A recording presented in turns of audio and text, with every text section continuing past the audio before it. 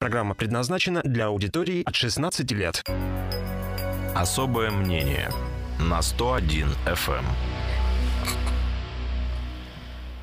13.05 в Кирове. Это программа «Особое мнение». У микрофона Светлана Занько. И свое особое мнение сегодня высказывает депутат Законодательного собрания Кировской области Дмитрий Русский. Дмитрий Михайлович, добрый день. Светлана, добрый день. Э, значит, большой привет всем слушателям, особенно нашим любимым женщинам. Я бы хотел, наверное, в предпраздничный день э, сказать какие-то определенные свою точку зрения в отношении там, вас, женщин. Да? Вот э, от лица мужчин я тебе дарю весенний букет тюльпанов. О, спасибо. Да, с 8 марта тебя. Очень Значит, приятно. И в твоем лице я поздравляю вообще и дарю этот букет всем нашим женщинам Российской Федерации, Кировской области. Значит, на самом деле я хотел что сказать. Я вот сейчас показываю да, в что камеру, тебя, что он камеру живой, настоящий, да, да. которая направлена на наш Я бы хотел, э, наверное, что сказать нашим любимым женщинам, то, что, наверное, мы гордимся не «Газпромом» и «Роснефтью» да, потому что мы все равно их не ощущаем. Ощущаем. Мы, ну, ощущаем. Я не, ну, не суть. Значит, да. Э, а мы гордимся именно нашими российскими женщинами, красивыми, умными, э, активными, при всем при этом, иногда хочу сказать, что очень терпеливыми. Да? И очень хочу вам всем пожелать здоровья, любви, терпения. И, наверное, чтобы мы всегда, мужчины, вас ценили и берегли от любых невзгод. Наверное или точно? Я буду делать все, чтобы это было точно. Спасибо большое, очень приятно. А, спасибо за поздравления. Ну, перейдем к нашим а, вопросам. Так что еще раз всех большим наступающим весенним праздником. Да, ну вот а, раз, раз такое поздравление последовало, я немножко перестрою сегодняшнюю программу. Хотела начать с другого. Я, пожалуй, немножко отодвину этот вопрос. Хорошо. И задам вопрос о новой партии, которая может возникнуть буквально в ближайшее время. А, Оксана Дмитриева, угу. петербургский политик, которая возглавляла Петербургское отделение «Справедливой России», собирается создать свою партию. А, с тем, чтобы выдвигаться а, на выборы в Госдуму в 2016 году. Ну, в Петербурге, в «Справедливой России» происходят различные а, движения, движения так скажем. Как результате... раз, кстати, связаны с настоящими выборами в Госдуму в 2016 году. Вот, то есть они уже начались, эти движения? Да, они у нас начались, и я думаю, что в том числе начались они фактически и в Кировской области, одновременно и в ЗАГС Собрания, и в Государственном Думе. Вот почему мы вдруг вспомнили петербургского политика Оксану Дмитриеву, да? Потому что у меня есть ощущение, что вот вот, например, инициатива э, э, этого политического деятеля, она затронет и наших тоже деятелей. Например, у меня есть подозрение, и не только у меня, что Сергей Доронин тоже может, э, например, например, войти в такую партию, и вообще как-то оппозиционные силы могут перегруппироваться, какие-то а, партии испытают отток своих членов. А, вот я говорю пример э, «Справедливой России» кажется нам достаточно яркий, и войти, ярким, и войти в новую партию, и что тогда это будет за партия, и получится ли из нее что-то эффективное. Вот как вы оцениваете события, которые сейчас происходят? Лишь бы не получилась такая присказка, очень долго мучились. И если долго мучиться, что-нибудь получится. Да? Да. Значит, по, по поводу Оксаны Дмитриевой. Там, да, а, мне кажется, что это такой внутренний раздрайв внутри партии. На самом деле это связано в первую очередь. Всей партии или только питерского отделения? Я думаю, что такие вещи происходят во многих региональных отделениях, и они будут еще происходить, потому что, а, в принципе, на сегодняшний момент а, партия готовится участвовать в выборной кампании а автоматически э, у них возникают определенные проблемы с рейтингом партии, э, потому что на сегодняшний день даже я не понимаю, человек, который немножко следит за политикой, да, все-таки это оппозиционная партия или это партия власти. Мне до сих пор это непонятно. Вот есть подозрение, что это оппозиционная партия потихонечку, потихонечку переформировывается Я думаю, что, э, Та часть, которая была власти. более оппозиционная, она, она потихоньку, помаленьку оттуда или сама уходит, или ее изгоняют. Э, при этом хочу сказать, что это, наверное, внутренние такие передвижения. Э, вопрос по Сергею Александровичу Доронину там, лучше задать, наверное, ему самому. Значит, при этом мы должны четко понимать, что никакую там партию в нашей стране самой по себе создать нельзя. И, конечно, Оксана Дмитриева не сможет создать эту партию в ближайшее время, тем более участвовать в выборах в Государственную Думу, которые будут в 2016 году. А почему вы Потому так что у нас э, есть определенный федеральный закон, где определено, кто участвует э, в выборах в Государственную Думу. Это в основном четыре парламентские партии и те партии, которые имеют определенный процент э, количества своих представителей в законодательных собраниях. А То, что, Оксана Дмитриева это этого не знает?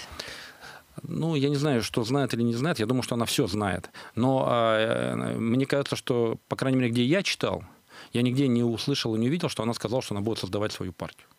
Здравствуйте.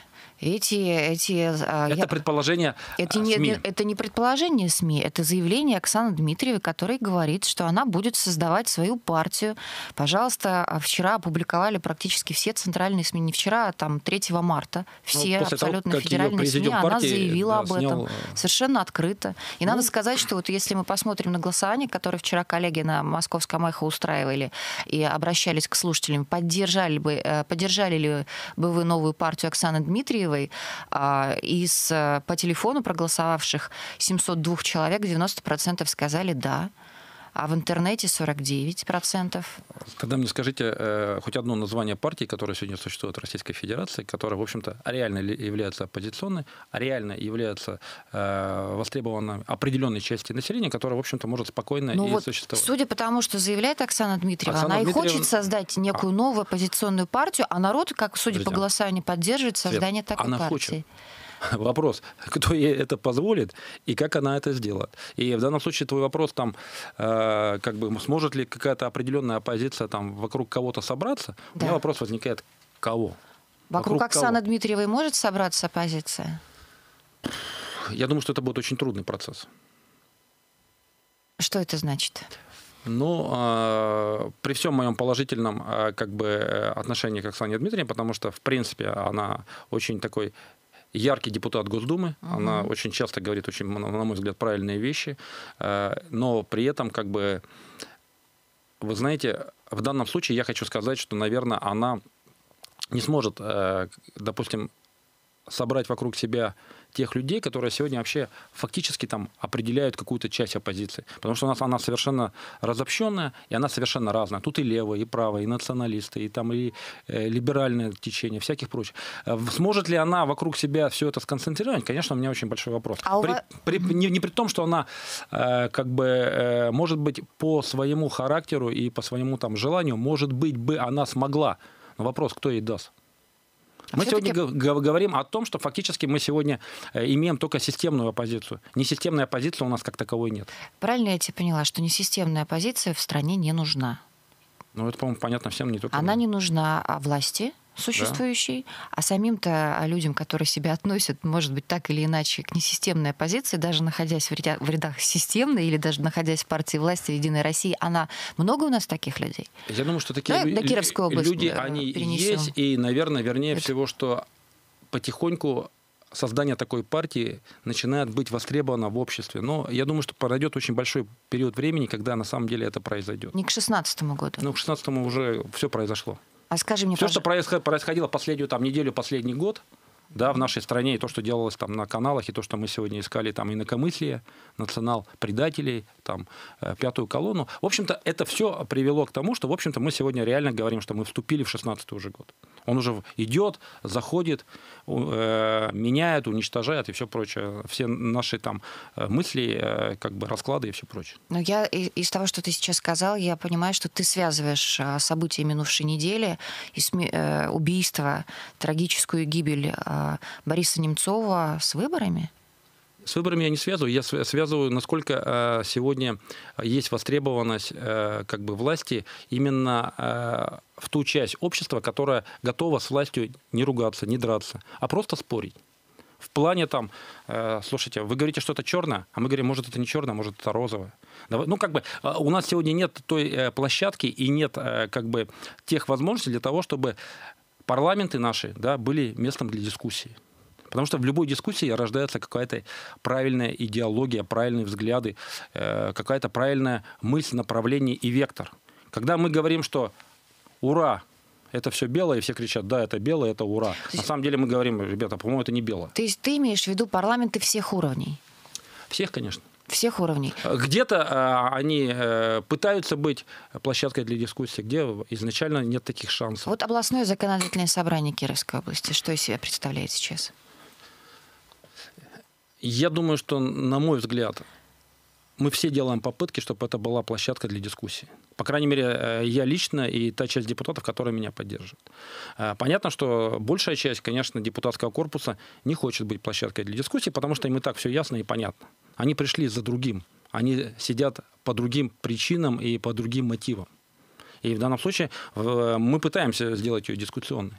А вас надолго хватит, тех, кто хочет сделать это дискуссионной площадкой? Я за это ответить не могу, потому что Областной по себе я чувствую, что даже под лозунгом, что я готов бороться и без надежды, и иногда я ощущаю э, как бы какой-то определенный внутренний э, формат того, что как бы батарейки начинают немножко садиться. Усталость. Усталость она есть. Я не скрываю, mm-hmm. и я никогда не скрывал, что, вернее, все же на следующий созыв я уже не пойду.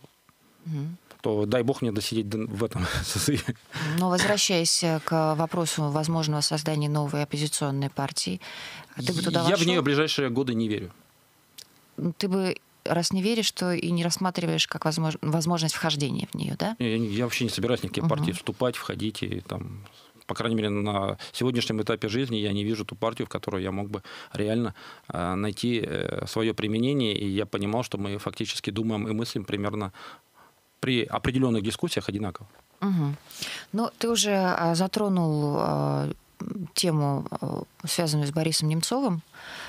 Естественно, каждый день мы начинаем практически обычно каждое особое мнение с того, что задаем вопрос о произошедшем каждому нашему спикеру, спикеру, и тебе я тоже его задаю.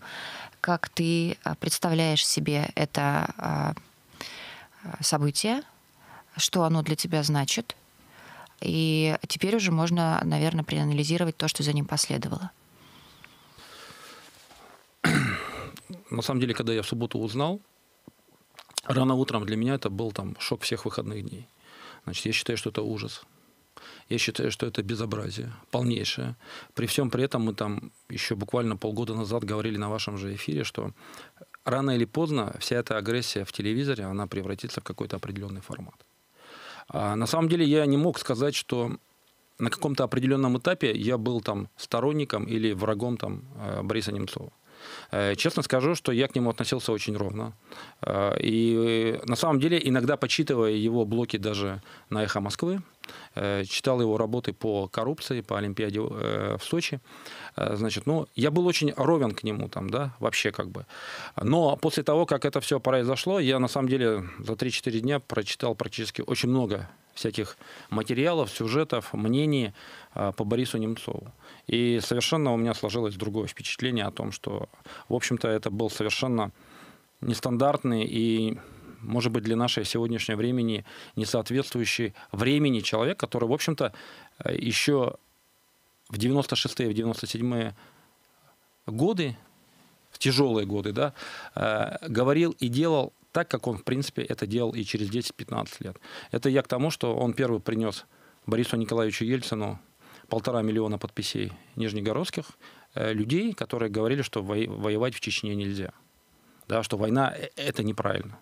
Э, фактически проходит там 20 лет, и он тоже самое говорит, что война – это хуже, чем мир. Да? По-любому он был сторонником мира. Плюс, конечно, его там отношение вообще к жизни, и когда человек практически достигает наивысшей там пика, он какой-то период времени являлся преемником а, Бориса Николаевича Ельцина – Значит, и потом, уйдя в жесткую оппозицию, и последние годы он спокойно находился на любых митингах, его арестовывали. И при всем при этом мы четко понимаем, что никакой корысти там у него точно не было, и он мог себе позволить уехать жить в другой стране. Он мог позволить себе молчать и получил бы за это, как Кириенко или Чубайс, любые посты в сегодняшней системе. Там, да? Ну, он э, поменял все это на совершенно другой формат, и для него было, мне казалось, и кажется сейчас еще больше, что вот именно вот это донесение правды и свободной страны по всем ощущениям, да, и э, отсутствие агрессии в качестве войны, э, для него это был главный лозунг, и он реально без всяких, еще раз хочу сказать, на мой взгляд, э, претензий и желаний там быть во власти или там как-то этим воспользоваться, он точно это не преследовал. По одной простой причине, он в свое время он наелся этой властью и, в общем-то, мог бы спокойно жить. И, наверное, вот все, что происходило последний год, это было одной из причин того, что мы сегодня даже, наверное, уже может быть, ближайшие 10-20 лет никогда не узнаем, что реально произошло. Но скажи мне, пожалуйста, если бы это был не Немцов, то был бы кто-то другой? Если мы сегодня говорим о том, что на фоне там, поднятия патриотических настроений, там, э, нахождения внешних и внутренних врагов. И если это нужно было для, как сакральная жертва, да, мог быть кто угодно, но понятно, что, э, на мой взгляд, это могли быть на сегодняшний день э, два человека. У них оба называются фамилии на «Н», это Навальный или Немцов. Потому что это сегодня самые яркие э, как бы лидеры той оппозиционной части, которая, в общем-то, сегодня, э, по крайней мере, есть на слуху. Угу. При этом я там четко могу сказать, что и мне подтвердило это 1 марта, когда пришли десятки тысяч людей в его поддержку, значит, которых поразило это жестокое убийство в центре города Москвы, буквально рядом с Кремлем. И прощание с Борисом Немцовым, что он был, наверное, все-таки не просто политик, он, наверное, был тем человеком, которого, наверное, знала практически вся страна. Ты сказал, а, люди пришли не просто попрощаться, а в поддержку его, видимо, деятельности, да? Ты хотел ну, его позиции. Его позиции. А позиция была очень простая. Человек хотел говорить просто э, свободно все, что он думает. Он э, готов был доказывать свою точку зрения. Он готов был э, к тому, чтобы все эти дискуссии не перерождались в какую-то агрессию стенка на стенку. Он готов был в любой форме это доказывать, рассказывать, обсуждать. Но на самом деле то, что я прочитал еще про Немцова, он был принципиальный человек, но он был очень миролюбивый.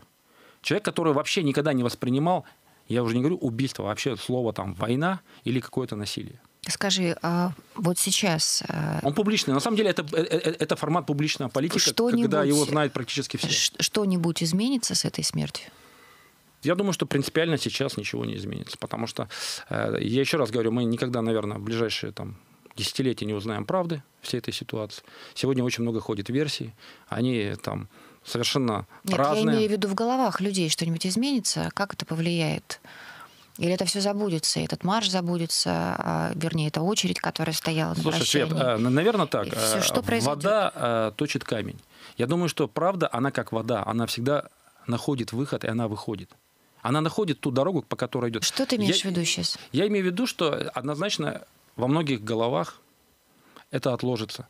Э, реально, э, я думаю, что там в каком-то периоде времени его будут очень сильно вспоминать как человек, который хотел просто, чтобы Россия была развивающей страной, а свободной. то, что Борис Немцов войдет в историю этой страны... Да, я, я, я не исключаю, что, может быть, пройдут время, и его именем будут называть Это улицы. понятно, но он там, там так и останется в истории? Или все-таки... Э, а что? Нет, остаться это... в истории это уже много, потому что, вот смотри даже, вот э, те люди, которые пришли, это желание прощаться. Я думаю, что сегодня он даже мертвый показал живым, которые его не любили и которые там всяко над ним издевались последние годы, да, что он крутой парень, потому что к нему пришли люди, а к ним не придут.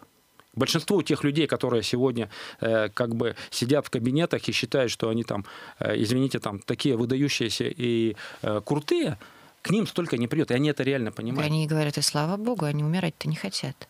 Ну, Немцов слушайте, тоже не хотел умирать, но для них, мне кажется, нет. это не мы, мы, мы говорим о том, что все-таки он им показал, что все, что он делал и последние годы, и то, что как он жил, для большинства, очень большой части населения, думающей, это был определенный пример. И а, они пришли и доказали. А для тех, как ты говоришь, то есть, я так понимаю, для власти имущих, ты думаешь, это какой-то пример? Слушайте, я не хочу думать о власти преимущих. Хорошо. Понимаешь, вот мне вот до них как бы вот... Э, понимаете, это люди живут в своей жизнью, они не хотят ни о ком думать. В первую очередь они не хотят думать о своем населении. Давай как раз о власти имущих поговорим, потому что задержание губернатора Сахалинской области Александра Хорошавина э, тоже все освещали, и, наверное, это касается абсолютно каждого, потому что тоже выдающееся такое задержание на рабочем месте, э, крепкого, крепко сидящего, можно сказать, губернатора, достаточно, хоть и небольшой, но богатого края. А, как ты это оцениваешь мероприятие? Я тебе сразу, конечно же, э, процитирую а, сообщение господина Маркина, который сказал, что задержание чиновника столь высокого уровня утверждает, подтверждает решительность э, государства в борьбе с коррупцией. Отлично вообще как бы посыл. На самом деле я никак к этому не отношусь по одной простой причине. Значит, в смысле, ты не рад, не не рад, тебя это вообще не задевает? Я это, просто это как бы слышал, у нас последний посыл президента пять лет назад о начале борьбы с коррупцией. Значит, в данном варианте мы возвращаемся сегодня э, с федерального уровня, где главным посылом-то на тот момент, и все каналы буквально 3-4 месяца пестрили ситуацией э, Сердюков-Васильева. И мы знаем, чем это закончился борьба с коррупцией по отношению к Сердюковой и к Васильевой, которая до сих пор ходит по самым дорогим магазинам Москвы, и, в общем-то, все в порядке у ней.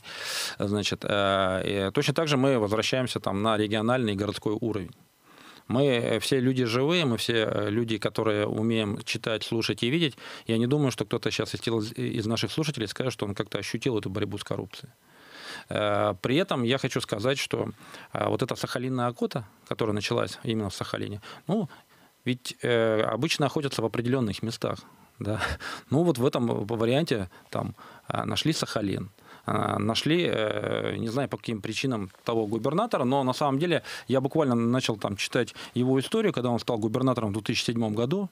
Значит, э, буквально он стал известный в 2012-2013 году, когда были э, кем-то опубликованы его затраты из областного бюджета, во-первых, на покупку машин. На улучшение имиджа Не, на, на, угу. на улучшение имиджа я хотел дальше сказать угу. там, да.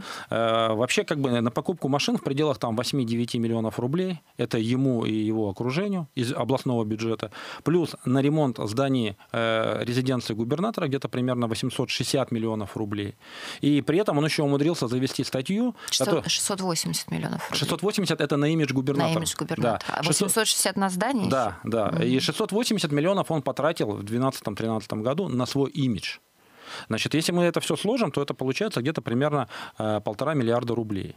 Э, значит, то я вам хочу сказать, что если просто перевести вот этого товарища э, э, фактически там в какие-то понятные цифры, фактически можно было целый год половины муниципальных образований Кировской области спокойно найти деньги жить, при, при том, что там живет громаднейшее количество наших людей.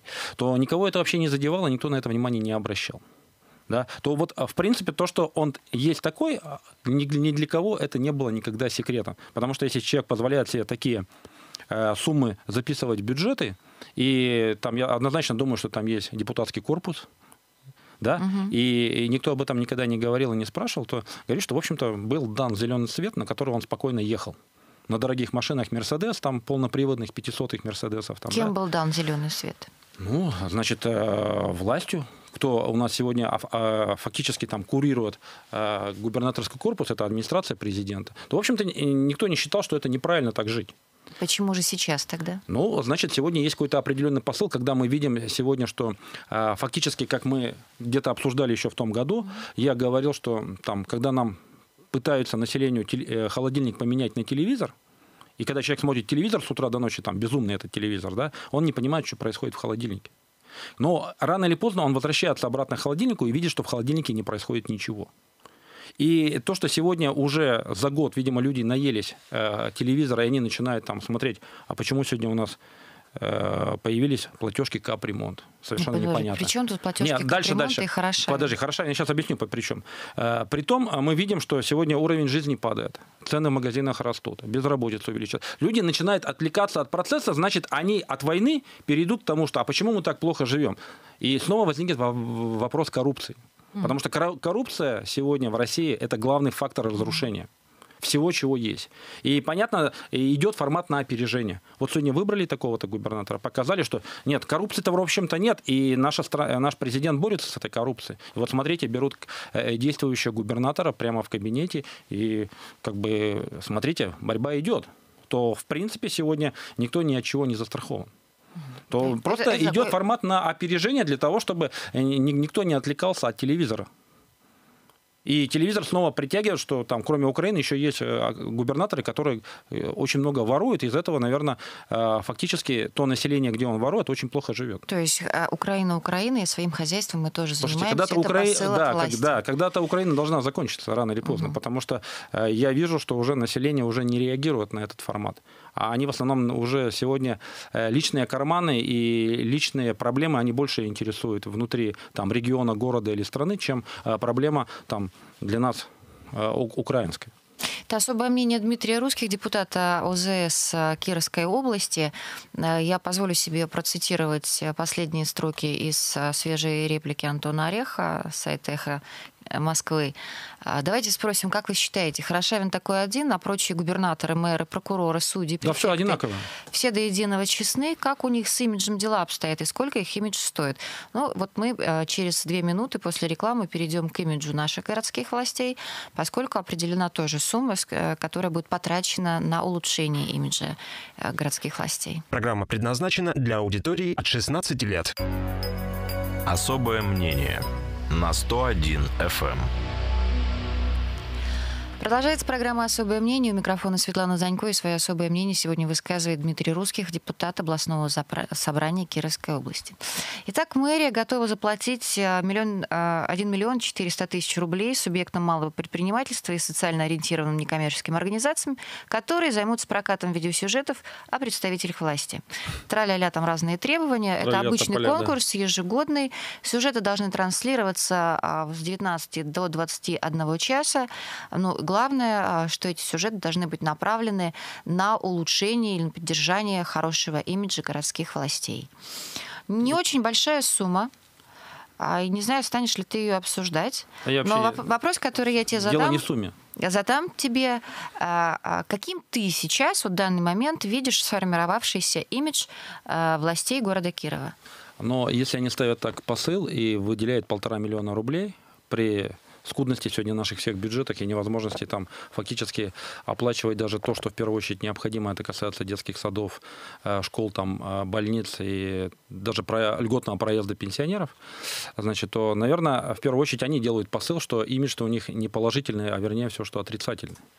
И в данном случае, если, э, как бы говорится, если нет действия, зачем делать противодействие? То как раз мы сегодня и говорим о том, что вся попытка сегодня создать какой-то положительный имидж, э, особенно за полтора миллиона, ну, понятно, что это смешно. Э, я думаю, что вообще имидж власти не создается по телевизору за деньги. Хотя, конечно, ее можно создать на какой-то период времени. Да, и то, что мы сегодня видим, что происходит там вообще в экономике угу. Кировской области, города Кирова, так как мы тут живем, да, значит, мы не видим сегодня вообще, в чем изменилась работа сегодня городской власти. Вот я смотрю по телевизору, у нас есть имиджмейкер, а, глава города Владимир Васильевич Быков, который ездит, режет какие-то ленточки, рассказывает какие-то сказки. При всем при этом э, не сократив свою заработную плату, не отменив свои премии, не отменив санаторно-курортное лечение. И э, ездит на нашей дорогой машине фактически по бездорожью. Потому что его дорогая машина наша, которую мы ему купили, она, в общем-то, не соответствует сегодня э, тому уровню, э, на самом деле, э, как бы состояния нашей городской, вообще города. В плане бюджета, экономики, социальной жизни и все прочее, то он живет совершенно другой жизнью, при всем при этом говоря в эфире, ну, если кто-то за его имиджем следит, значит, ну, я надеюсь, что кто-то хотя бы следит, что он тоже очень тяжело переживают кризис и тоже будут скоро экономить, потому что, наверное, будет экономить на продуктах, потому что начинается пост. Э, когда я это услышал, я думаю, э, э, это, это, это кто вообще придумывает и кто такие вещи говорит? Мы сегодня все взрослые люди понимаем, что если сегодня поститься именно в пост при его зарплате, то это гораздо дороже, чем просто питаться. А если мы говорим о том, что он на самом деле хочет там э, как бы сэкономить, ну тогда надо все-таки подать пример, а как это сделать, потому что у нас там 90% населения постятся круглый год. Ты знаешь, вот когда мы начинаем говорить о городских властях, обычно все разговоры, раньше они сводились к двум фамилиям, и на первом месте обычно фигурировал господин Драный, которого и так, и сяк. Ну да, у него фами... как-то ему так, да, его во все... А на втором месте был Владимир Васильевич Быков. Сейчас э, Дмитрий Драный ушел, и остался а, Владимир Васильевич. Нет, и он вот не остался, он всегда был. Просто и, как-то, и как, нет, когда-то просто что... бочки очень аккуратно все скатывались на господина Дранова. Дранова, да. да. А сейчас вроде Но бы... давайте давайте... Катят на Быкова. Подожди, по порядку. Подожди, я хочу спросить. Мы не ведь, катим ведь... на Быкова. Хорошо. Мы говорим реальные вещи о том, что мы не видим сегодня, что предлагает глава города, который говорит, что он все решает. И мы все прекрасно знаем, что без его команды даже муха не пролетает в городской администрации и в этом здании. Да? Мы там точно говорим, что когда мы обсуждали вопрос о застройке наших э, парков и скверов, очень уважаемая моя женщина, которая была главным архитектором в советское время, сказала, что у нас один главный архитектор в городе – это господин Быков. Вот. Да? Смотри, То в данном случае мы говорим, что давайте мы все-таки, если человек одел на себя звание глава города, то он должен за все отвечать. У нас просто мало времени. Я еще один хочу вопрос себе задать. Но чтобы вот этот завершить, вот а, хорошо.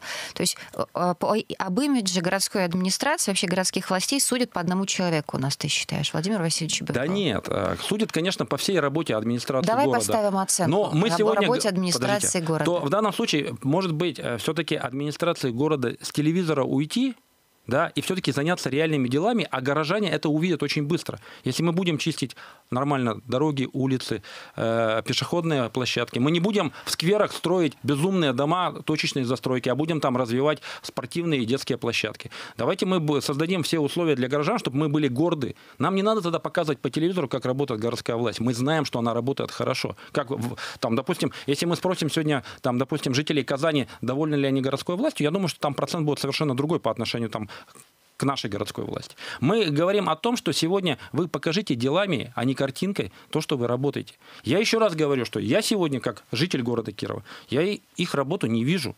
Я, наоборот, ее вижу, что она только ухудшается, потому что мой город превратился, извините, в большую деревню, где не проехать, не пройти нельзя. Ну, то есть Точечная застройка, безумное э, э, уничтожение всех скверов и парков. Э, Это не просто место отдыха, это экология города. То мы в данном случае говорим, слушайте, ну хватит уже э, вроде издеваться, ну мы уже все прекрасно слышали и знаем, что вы нам расскажете, что надо сплотиться, не надо раскачивать лодку, что мы все кризисы переживем. Так вы переживите эти кризисы вместе со своим населением, с кировчанами, а не так, как как жили, так и живем. Как лечились, так и лечимся. Как зарплаты получали громадише, Ну, так и Михайлович, получаем. полтора миллиона, ну, чуть меньше, чем полтора миллиона, это не такие большие деньги на целый год. Должны же городские власти иметь возможность выйти а, в СМИ и Свет, рассказать ну, о своей работе. На полтора миллиона можно посмотреть по-разному. Да? Кто-то может сказать, что это небольшая сумма. Я говорю, что у нас э, там детская юношеская спортивная школа команды Родины чуть не закрылась из-за полтора-двух миллионов. А там занимаются 400-500 детей. Это была история, она Нет, никуда ну, не делась. Другой вопрос. Должны же иметь возможность городские власти выйти а, в эфир и рассказать о своей В эфир не работе. надо выходить. Вы идите и разговаривайте с населением, которое вон ходит по вашим улицам, ездит по вашим дорогам. Есть куча. У меня сегодня нет фактически никакого эфира. Я знаю, как живет наше население. Я потому что постоянно везде с ними разговариваю. Вот вы опуститесь на землю. Поймите, что идет социально-экономический кризис, который, в общем-то, будет еще хуже сказываться на том, что к к вам отношение будет меняться, потому что все видят, что вы не меняетесь даже По в кризис. делам вашим, а вам воздастся, Конечно, да? конечно, не, не надо заниматься там. э, а то я уже рассказывал, помните, была история, когда там э, был еще, по-моему, главой администрации города Мачехин, который э, ездил и показывали по телевизору, как он открыл после ремонта Новятскую баню. Ну, ребят, ну это ж позор для власти. Баню открывать после ремонта в Новятске, вы что, с ума сошли, что ли? Это особое мнение Дмитрия Русских, депутата областного законодательного собрания Кировской области. У нас остается не так много времени, и, наверное, все это время мы посвятим а, вопросу, а, который я вынесла после вчерашнего а, после вчерашнего высказывания Азиза Агаева, который здесь же, в этой Да, я студии, в этой практически его поддерживаю, я прочитал тоже. Вот это. сейчас я в- да, Да. в этой программе а, давал а, оценку приговору Сергею Матковскому, бывшему директору МУП «Горэлектросеть», которого признали виновным в злоупотреблении полномочиями, но переквалифицировали э, обвинения и так далее. Но все очень подробно, кстати, написано в бизнес-новостях. Там ребята писали репортажи с каждого практически судебного Да, я, заседания. я читал. Я хочу э, привести цитату для наших слушателей, раз ты читал, для наших слушателей э, цитату из Азиза Агаева, который приговор оценивает следующим образом. Хорошо, говорит он, Матковский осужден, но мы понимаем, что сам Матковский, сам то, что сделано, делать бы не стал. То есть в том, в чем его обвиняют и а, а, почему, по поводу чего его осудили, э, значит, и штраф ему назначили. Он говорит о том, что должны нести ответственность люди, Азиз Агаев говорит, говорит. который отвечает за создание системы контроля и за сам контроль над такими предприятиями, над МУПами, например, да. Если мне скажут, что есть у, у нас система, у нас все хорошо, то тут два варианта. Либо люди, которые руководят этой системой, замешаны в этом деле, либо они некомпетентны. И третий вариант система неправильно выстроена, не работает. В том, в другом в третьем случае должен нести ответственность какой-то руководящий человек, который не создал систему, либо замешан в этом деле, либо некомпетентен. Где, говорит, орг выводы? Ну, Ну, и он еще говорит, что который раз уже такое мероприятие, как суд над, э, да, Это был троллейбусный парк, помните? Их да? много, Там много, было много. случаев, когда фактически И он всё- говорит, что нет орг-выводов, а должен нести ответственность все-таки человек, который в администрации, в управлении э, занимает соответствующую должность, контролирующий. Слушайте, тогда снова мы возвращаемся, что нужен э, за все отвечать, что, что происходит в здании, не перекладывая ни на кого и не уводя стрелки глава города. Что он должен был сделать в данном случае? Вот, вот давай вот Смотри, этот давай по случай порядку, по, по Матковскому. А Сколько ему там штраф дали? 180 тысяч. 180 тысяч. Вот э, это Но пример- прокурор просил наказание в виде двух лет лишения свободы, А, кстати. Согласен а, с Азизом. Э, То, что этот человек сам по себе это ничего не делал. Э, Я там скажу, может, те вещи, которые не все знают, но это моя точка зрения, которую я там э, знаю. Я бы хотел вернуться там в 2012 год. Это безумные выборы в городскую думу, когда мы все четко помним, когда всю оппозицию залили грязью, и э, был такой героический человек, в кавычках, Рудольф Стародумов, который пытался не пустить АПГ э, во власть. Значит, при этом как бы он... Оргу- Организованные преступные гос- э, г- Да, группировки. да, да, группировки, которая оказалась там сразу три партии, «Справедливая Россия», КПРФ, две, и еще Ту- Туруловская. В данном случае, на самом деле, мы знаем, кто это все организовывал. Э, На самом деле, эти, из трех человек, два сегодня находятся там в определенных судебных процессах, а один периодически живет за границей. Значит, мы точно по- потеряли героического нашего борца э, с преступностью после буквально трех месяцев его активной жизни э, во время выборной кампании.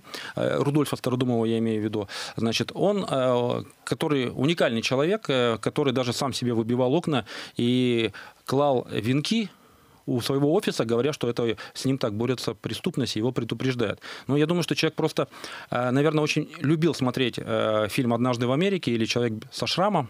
Ну, просто у него совершенно нездоровая там психика, мне кажется, потому что такой человек сам себя хранит, он реально, его надо проверять. Но не суть дела там, да. А Вот вся эта грязная формация, и как это все происходило, и окончание всей этой выборной кампании, когда в день выборов раздавали по 500 рублей, а количество розданных денег составляло примерно то, что я примерно знаю, это моя точка зрения, 150-200 миллионов, то вопрос э, может любой человек задать, кто нас слушает, а кто за это за все платил?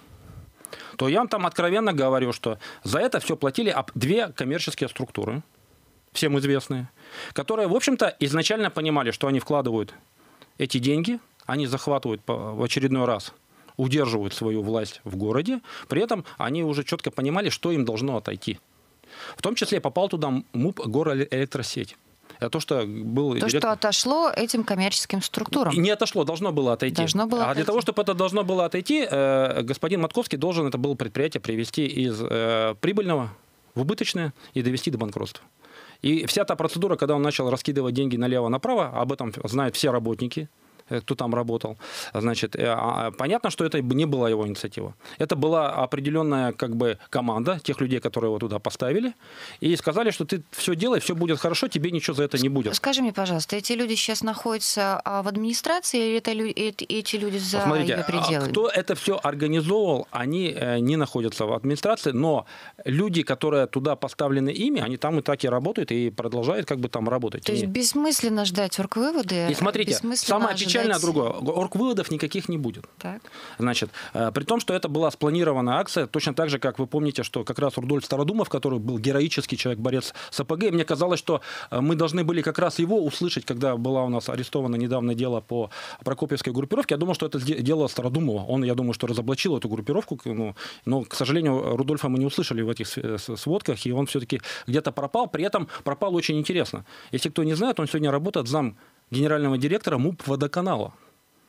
Хорошая зарплата, хорошее место. Э, Как мне говорили там в интернете, я читал, друзья многие говорили, что после выборов они Рудольфа Стародумова увидели на совершенно э, новой машине, которая не соответствовала его бывшим заработкам. его купили?